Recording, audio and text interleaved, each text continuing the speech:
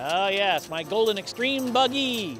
Uh, that three-wheel electric motorcycle I hope will be used by me to drive around the United States and promote electric vehicles and solar energy and talk to a lot of people like you and uh, talk about the benefits of electric transportation, which are principally three. There's the environmental stuff we've been talking about. There's the economic concern. Electricity is really dirt cheap compared to gasoline. And then there's the national security concerns. If we're overly dependent upon oil that comes from unstable areas of the world, so uh, we're promoting the idea of uh, of uh, let's move beyond oil. Let's move to something better, which is electric power. We're calling it the fun run in the sun because, hey, we like to have fun. If we're not, there's no fun involved, I quit, you know.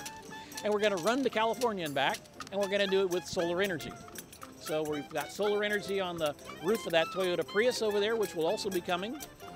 That's the one that's making the electricity to run the band that's playing over there right now. I've used that same card to run an electric wire into electric cord into my house when we had the storms that knocked the power out in our neighborhood. I invited my neighbors to come on over when the power was out. It was nighttime. I said, "Why don't you come on over? I'll have wine, some candlelight. We'll just shoot the breeze and talk about stuff." And then I showed them my refrigerator and I opened the door and the light was there and they went, "Whoa! How did you do that, Charlie? You cheater, cheater! You're using your car to power your house." To which I said, "Duh! We should all do that."